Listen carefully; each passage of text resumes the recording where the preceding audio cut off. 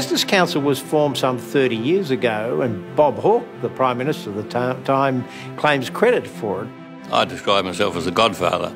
We called the National Economic Summit a month after I became Prime Minister. What he wanted to do was to combine, in my book, big government, big unions, and big business in order that they might get together and organise things more effectively. The existing organisations weren't comprehensive enough, and uh, so the BCA provided that uh, avenue for me to know that I was speaking to interests of you know very significant proportions within the business community in the country.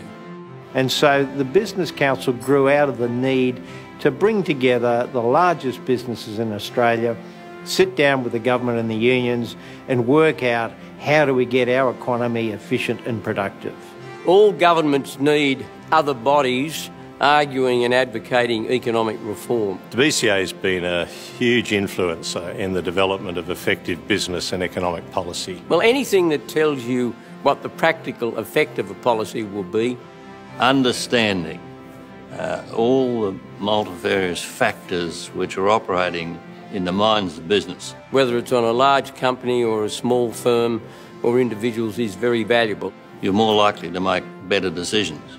And our, our job is really to make the case for growing the economy and sharing the benefits with the rest of the community. They've been there certainly to represent the interest of, of big business, but they have done that within the framework of what's best for Australia as a whole. So, what is prosperity?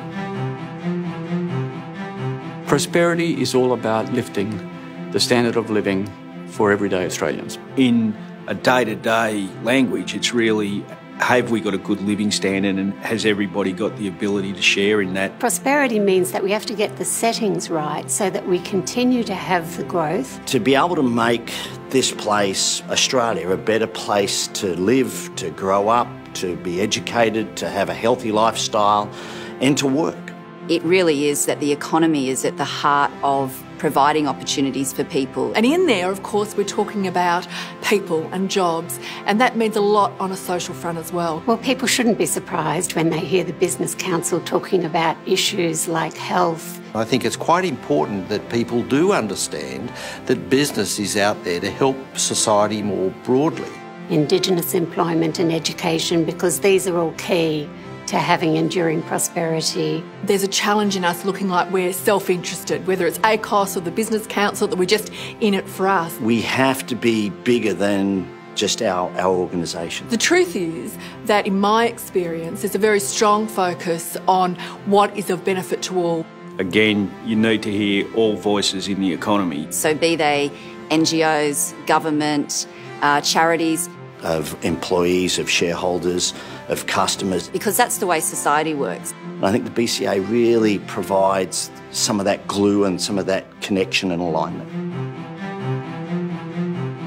The role of the corporation from the expectation of the community and governments, partly because of their capacity, is that they have to do more things because they are able to get things done. We've got much more in common than we ever have that will divide us. We've benefited from the rigour that, that business leaders and business thinkers have brought to our Indigenous affairs thinking. Well, at the Business Council meeting, I guess I wasn't expecting there to be such determination to collaborate. People who've spent all of their lives helping create wealth and find solutions to, to advancement and so on, they're the kind of people that I've benefited from. Like the Australian economy, the BCA has evolved a lot. The Council's focus has changed over the years as the needs of the country have changed. Uh, there are a lot more young CEOs being put into positions that have uh, a different view, and that's welcomed in a forum such as the BCA. Just think about the amount of innovation and change that's occurred over the last 30.